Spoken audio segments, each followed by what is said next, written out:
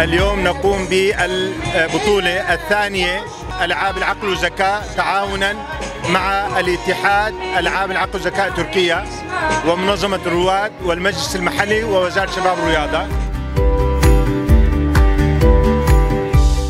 العاب العقل والذكاء اليوم في جرابلس جمعية أطفال من تل أبيض راس العين من جرابلس من الباب من عفرين من إدلب. نحن حبينا نقول إنه بأطفالنا من حقهم يتعلموا من حقهم يلعبوا من حقهم يفرحوا من حقهم ابتسامتهم تكون هي المسيطرة.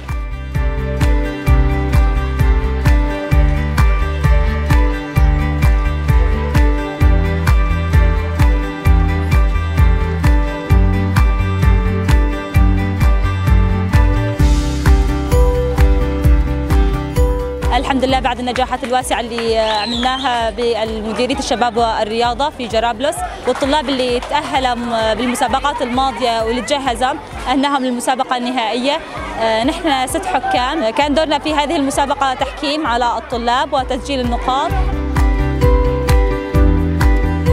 في الصف السابع شاركت في مسابقة العقل والذكاء وشاركت في لعبة الكولامي وكان هنالك أربع مراحل وفزتها كلها وحصلت على المركز الأول.